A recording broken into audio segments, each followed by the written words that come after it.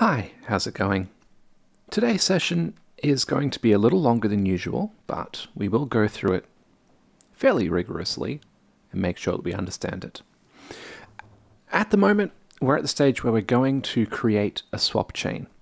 What is a swap chain? Well, in OpenGL, when we create a program, create an OpenGL context and everything, a windowing library will typically make a nice double buffered uh, rendering system for us. This is nice, this is good. However, um, Vulkan does not have a default sort of rendering system that the um, environment gives us. We have to create that ourselves. To start with, um, just going to go down to the logical device creation. Got what device features, okay, fair enough. We're also going to um, request some device extensions.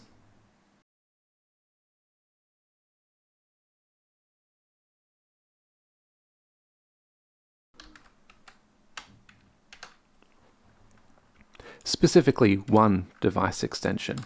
So creating the swap chain is still kind of at the device level because, um, well, our device needs to create it, and uh, yeah, that's that's why I'm going to put it there. Anyway, so um, we're requesting the swap chain extension, and then when we go down to the device info for the creation, we have enabled extension count, which we're just going to change that to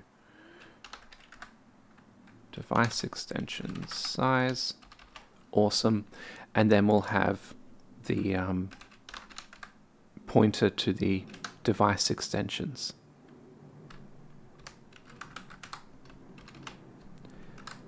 Okay, so we are now requesting that our logical device also support a swap chain. No problem. The next thing we want to do is I'm going to make a few functions to basically um, check what sort of swap chain we can create. And we'll start with a struct to hold that data.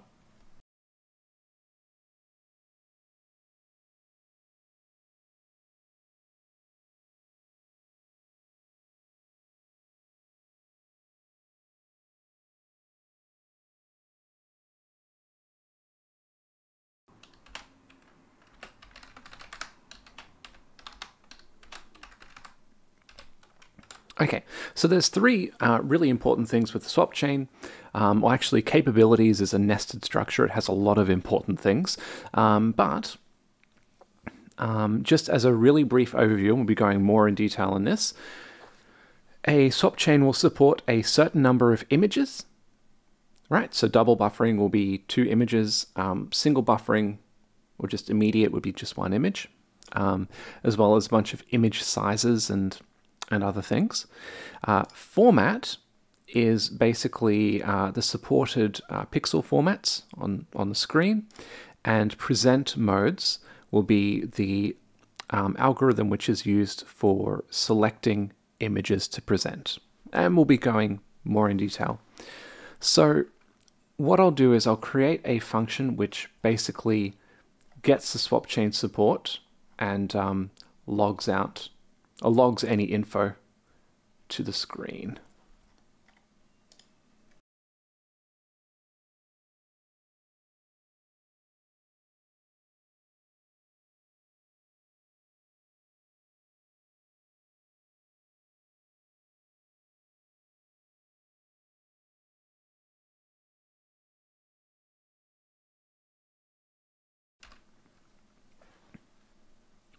Okay, so just for completeness, I'm going to head to the engine and we can call this right down here after we make the device. So we'll go um, vk init query swap chain support for our physical device based on our surface and we'll just put in true, right? Because we're just automatically logging stuff out. Okay, So this is just making sure that when I run this, I can I can log the details out. All right, so um, let me just, there's going to be quite a bit of copy pasting in this session, um, just because there's a lot of info to get through. But this is how the um, surface capability structure works. So we have all of these fields that we can check. Uh, the minimum number of images supported by the swap chain, maximum number of images, as well as the um, minimum and maximum extents that the swap chain can support. So let's jump into this. Let's go, okay. Just log some of this details out. Okay, so we're just going to print out the min and max image count.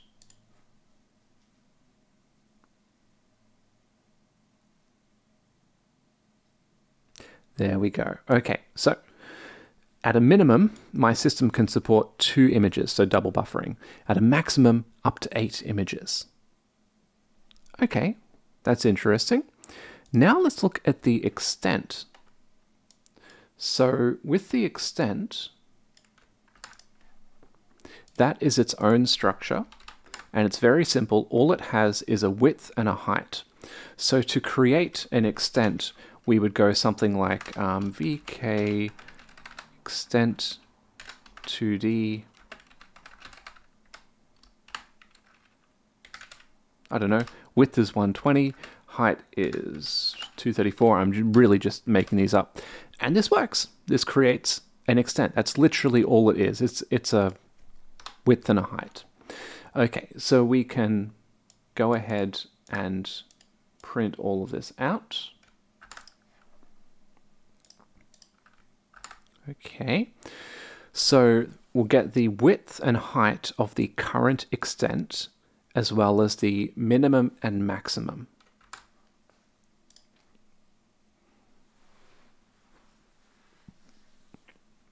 And as we can see here, all of these are locked to 640 by 480. Now I believe the reason for this is that we have set resizable to false, and so um, it has to be locked. Maybe as an experiment, let's set resizable to true and see if um, the swap chain will support different things. So we'll just go here.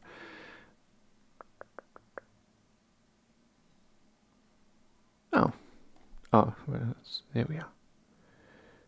Okay, let's try this. Let's go glfw true, and then see what our swap chain can support.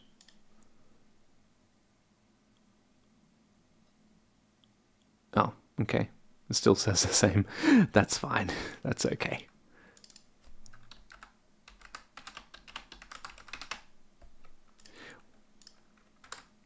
Alrighty.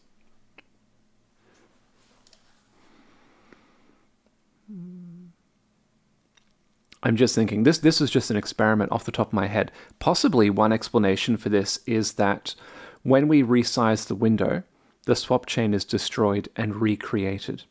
And so it will be recreated at a different current extent and a different minimum and maximum.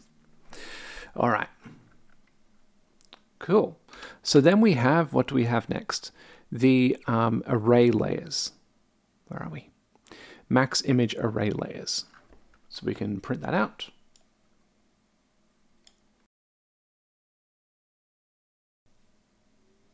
Yep, supports one array layer. Yep, that makes sense. The window is just a single image, a single surface after all. No worries. Looks reasonable. Okay, so then we have um, the supported transforms. Where are we? Supported transforms and the current transform um, for the swap chain.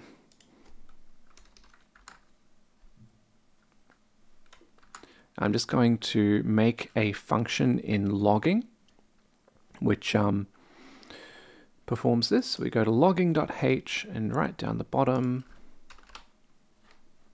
Like I said, there's a lot of copy pasting in this session. Um,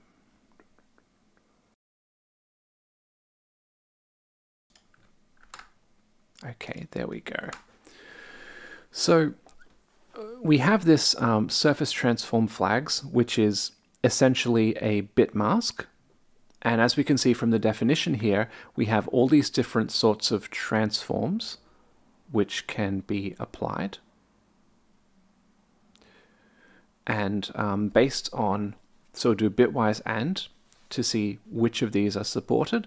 And if a transform is supported, we'll append that um, string description to a vector of strings. And this is, it's really just, it's taking, it's taking a bit mask, de unpacking it, and just translating it to English, basically.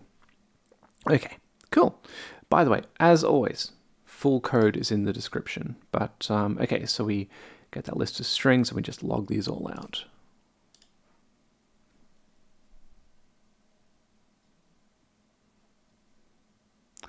Okay, so it looks like supported transforms is just the identity transform, and currently the identity transform is the only transform which is applied to the image.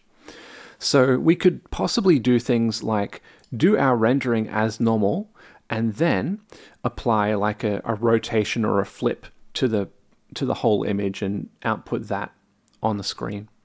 But I think possibly because we're not requesting anything different, it is um, just taking the identity.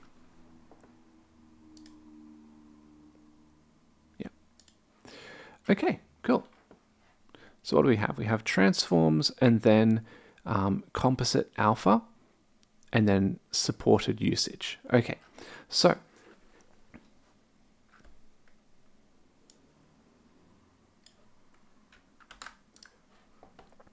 just make the composite alpha function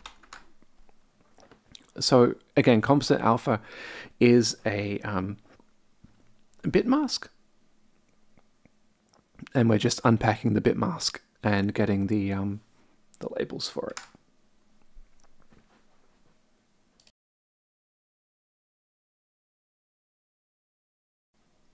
Yep, so then we run this and um, yeah, we're just gonna have an opaque window, so not a transparent window. Fair enough. Okay, then we have image usage. Okay, so we have the, um, the capabilities supported image usage flags. No worries, we'll just go over and make another function to log that.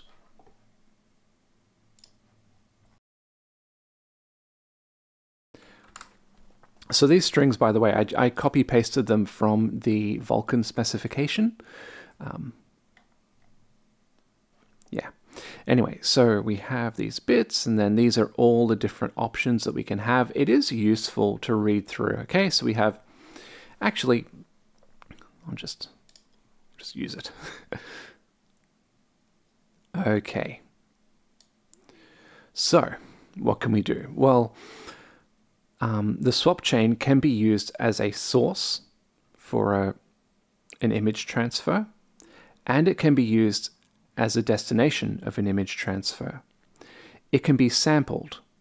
So the way we do this, the way we use images, is we create a Vulkan image view and then we send that to a, a Vulkan descriptor slot.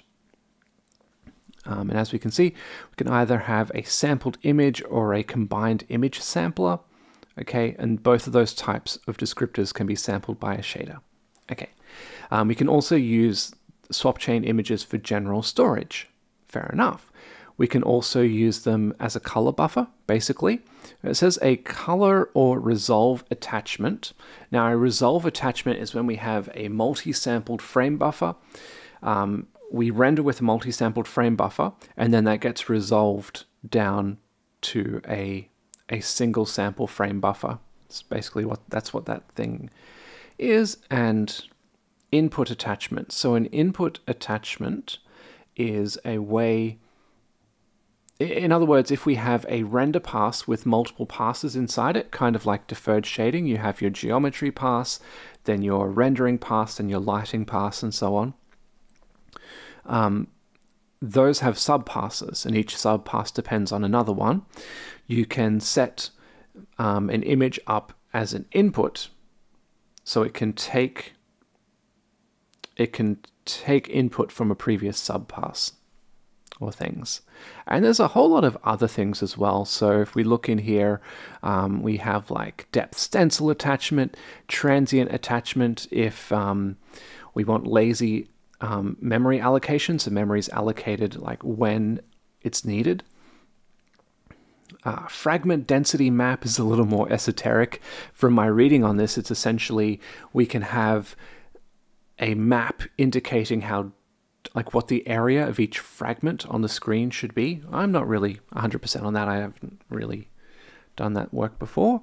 Um, and we can also have a map describing how frequently different fragments should be updated and things. But this is this is probably more on the mobile end where um, like tiled rendering and things. Like you can't render the whole screen at once. You want to render certain bits selectively. Anyway where was i? Okay. So those are the options that we have for capability. Those are the properties of a swap chain capability.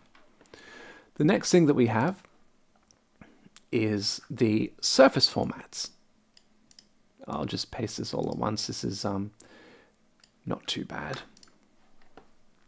So the surface format is a struct which has two um, fields, the basically the pixel format and the color space that we're looking at. And the Vulkan HPP header has a nice toString function. Actually, it also has a toString function for the other things as well. I just wanted to log them out with more detailed descriptions. But um, yeah, let's go ahead and run this. So we go get the surface formats and then, yeah, can see what we're doing here. All right, so looking through here, we have a format which is um, this RGB 8 bits each, but you know, formats and orders a bit different. It's a bit weird. Um, but this is unsigned um, normalized data okay? In sRGB nonlinear color space, okay?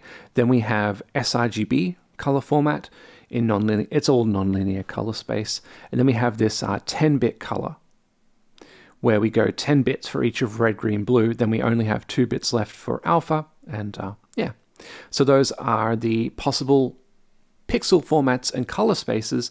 We'll select one of those as well. And um, then there's one more bit which is the present mode.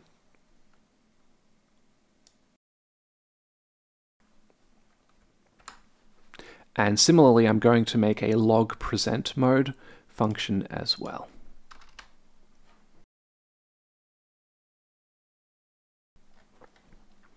So as we can see here, our present mode is um, more of an enum. It's not it's not a bit mask. We can't have individual things.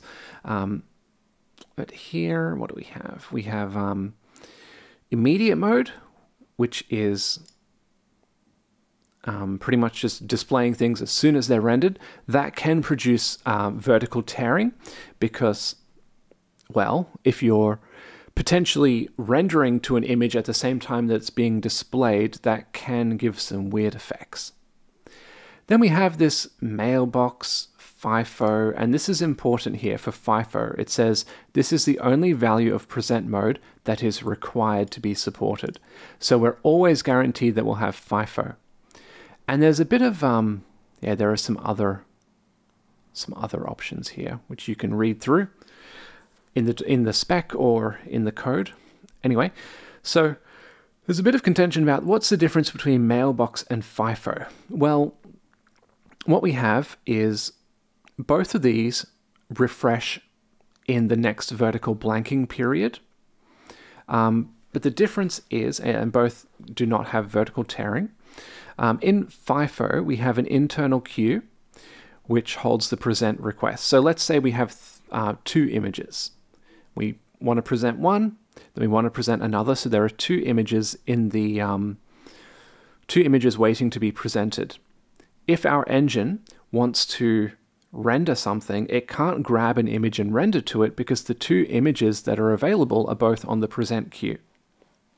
and it waits. So this enforces, it basically fixes the program to the screen's refresh rate, or the video card's refresh rate. On the other hand, this mailbox does essentially the same thing, except the presentation queue only has, where is it? Only has a single entry. So if there are two images, we grab one, render to it, and then request a presentation. It goes on the queue. Then if the engine is super quick and renders the next one, then that actually overwrites the initial uh, presentation. And then image one, which was waiting to be presented, is then returned to the queue and that can be rendered to again. So, long story short, mailbox presentation is the fastest present mode, which does not have um, visual artifacts like vertical tearing and things. Okay. So anyway, let's have a look at this and see which present modes are supported. So we are allowed to do FIFO, we're allowed to do relaxed FIFO, as well as mailbox and immediate. Okay, that's nice to know. So those were our kind of logging functions and they seem to be working. So we can go back to our engine and remove that remove that line. Now let's get into actually creating the swap chain. So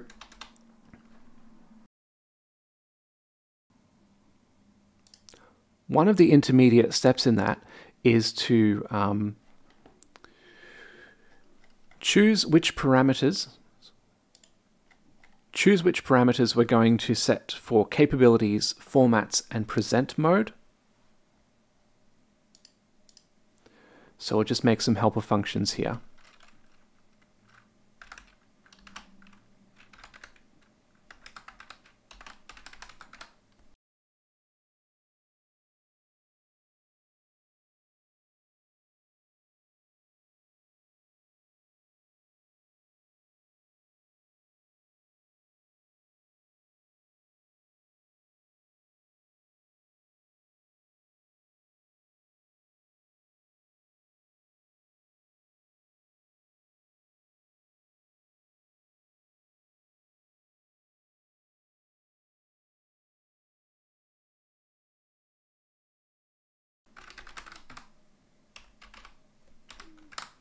From inspection before, we know that both of these will be supported. So basically what we do is we just look in, see if we have these, this is the preferred mode, we return that, and simply if not, then it doesn't matter, just return the first one that we have. Okay, cool. Then we want to choose a present mode.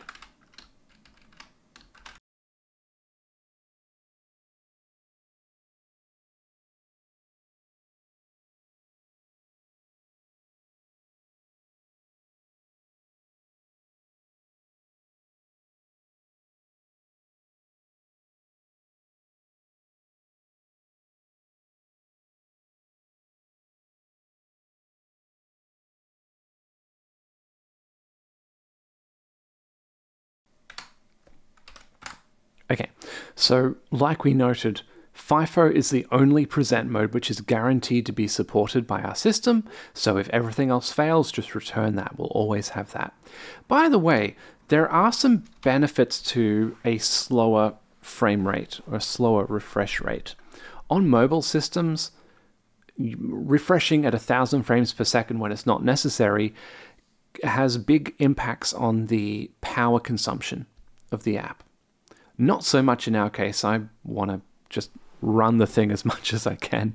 So I'm just going to go mailbox. Okay. Then the last thing that we're doing here is we need to get the uh, extent that we're going to use.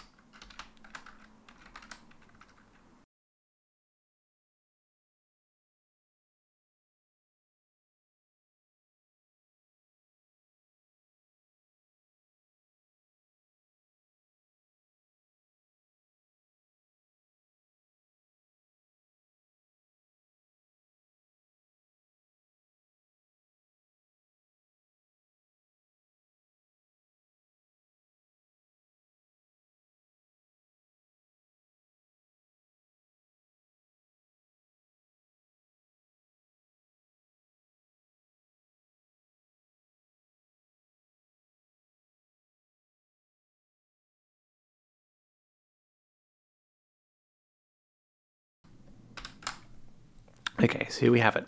As we saw when we logged this out before, this is going to pretty much just go with the first branch of this if statement because everything has been nicely set up.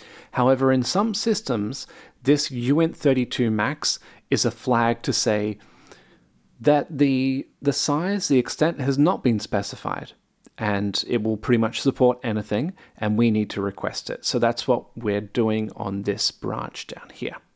Okay, cool. So now we're going to actually create the swap chain. And we're not just going to create a swap chain, but there's a bunch of other things which we're going to create at the same time. So I'm going to create another struct up here to um, hold all of that data.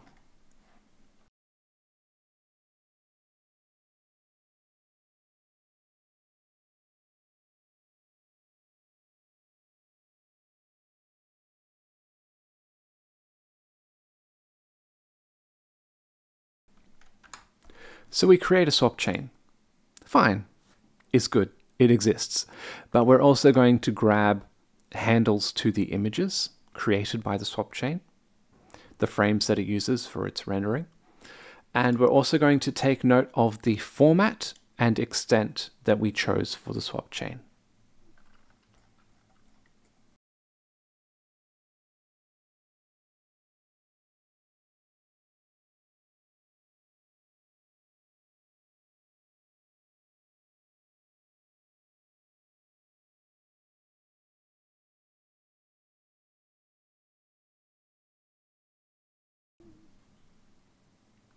As you can see here, we are taking a lot of parameters. Now, it would be valid simply to take a pointer to the thing, to, to the engine object, which is creating the swap chain. However, um, I don't want to, but also also because it could potentially cause some kind of circular imports where the engine is importing device.h and then device.h is importing engine.h in, in order to know about the engine. It's just, mm, yeah, it's just potentially a little messy. So I'm just going to keep it this way for now, even though I do hate these functions with lots and lots of um, different parameters, but yeah, we'll, we'll deal with it. Okay.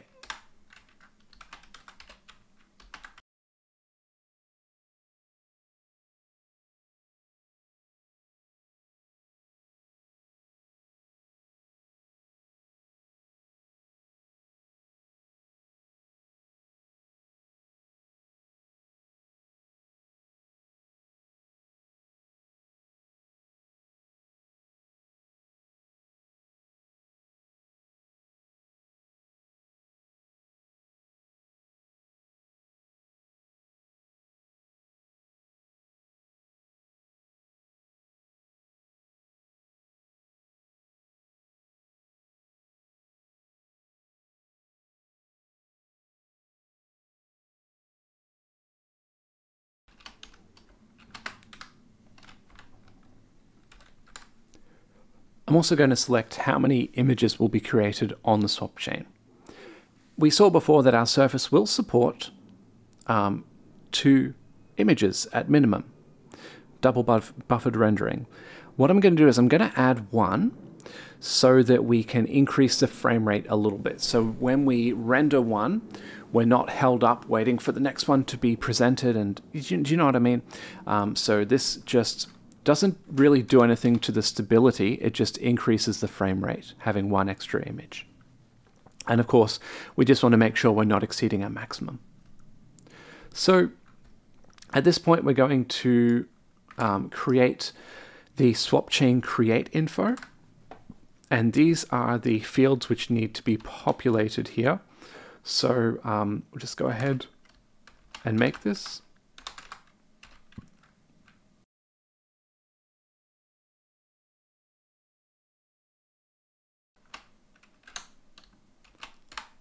Okay, so we have a bunch of things that we can set straight away.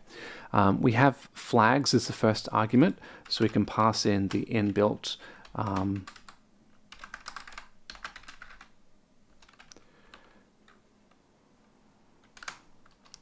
swap chain create flags. Then we have the surface. Okay, no worries. We have that. Then we have the minimum image count, which we're just going to set as image count. Then the format, you can see what I'm doing here.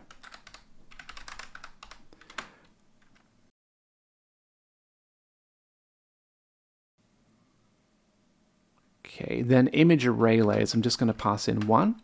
Image usage, we're going to say, okay, that is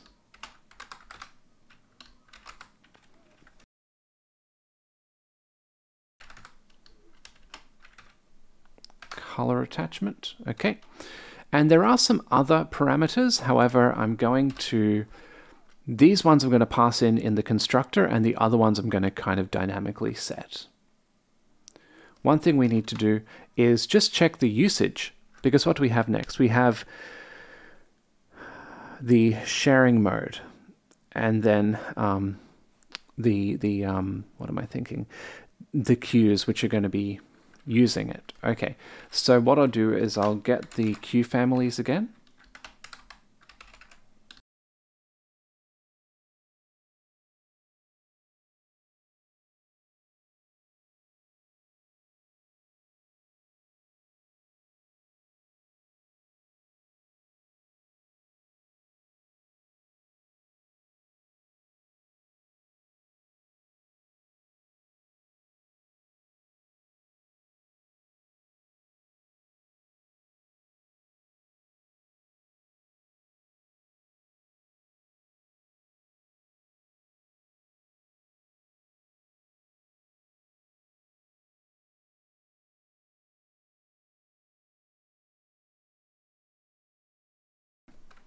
Okay, so remember there is the possibility that our present family was a different index to our graphics family. In that case, our swap chain will be concurrently shared. In other words, there'll be two separate queue families acting on it, two separate queues acting on it. Okay, in that case, we can set um, we can set this information, set it to concurrent mode, tell Vulkan that two queues will be using it and pass in the indices of those queue families. Fair enough. Um, otherwise, it'll be exclusively used by one queue. Okay. And this other information does not need to be set. Okay. Cool. Uh, so then we have a bunch of other bits of information. I'm just going to copy paste this in. So we're going to set uh, pre-transform composite alpha, present mode, and all of that. And clipped, yes. So uh, we are using clipping on this. So for instance, if a triangle is partly off screen, it will be, you know, clipped off, of course.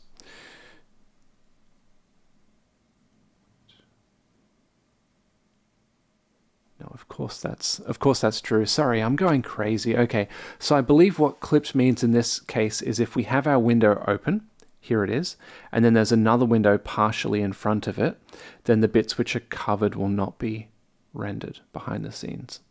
I believe so. Anyway. Right, uh, then we set old swap chain. So what we can do is if we're recreating a swap chain, we can inherit from another swap chain to kind of speed things up a little bit, inherit some some parameters, but um, I'm just going to leave that. Now we can go ahead and create our bundle.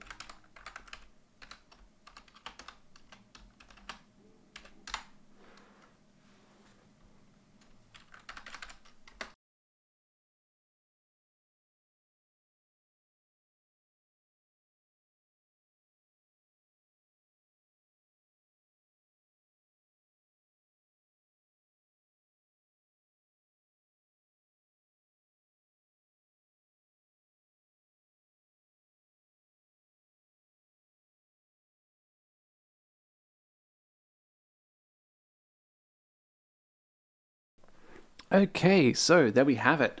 Um, great. So we go ahead, create the swap chain, pass that in, and then we get the images. By the way, these images already exist. They exist when the swap chain is created. All this is doing is getting the images which already exist. Okay, cool. Right, so let's go to our engine and use this. To start with, we will need a bunch of variables. So we'll go um,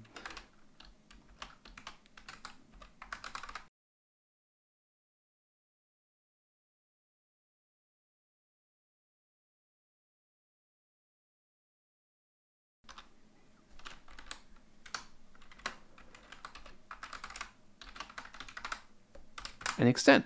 Awesome.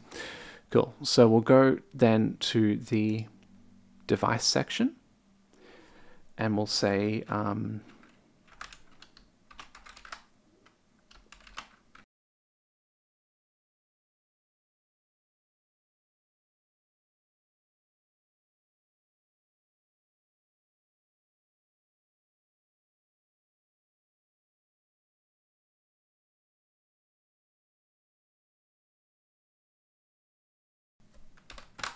Okay, cool. That's looking great.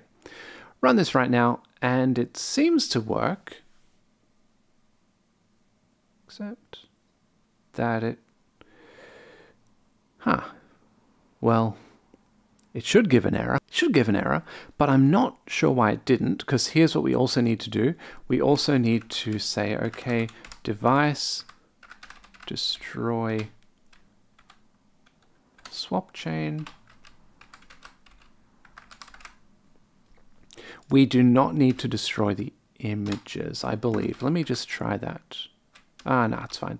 Because the images are owned by the swap chain, and when the swap chain is destroyed, it goes through and destroys the images. Okay. So again, we run that. And yeah, it works. No issues at all. Anyway, Bit of a long one today, but hopefully it was illuminating. And um, yeah, this code is in the description, so you can go in and have a look at all of these options and these enums and see what they mean. But um, again, basically what we did is we created a swap chain, which is the rendering procedure of um, selecting an image, rendering to it, selecting an image, presenting it, sets up for that, for double buffering, triple buffering, and so on. We had a look at the different um, extents and image counts and, and all the different options that we can have, the capabilities that we can have for our swap chain, as well as uh, pixel formats and color spaces and the like. And yeah, I mean, that's it. Hopefully we're learning and um, getting comfortable with um, Vulkan. Anyway, have fun and I'll see you in the next one. Bye.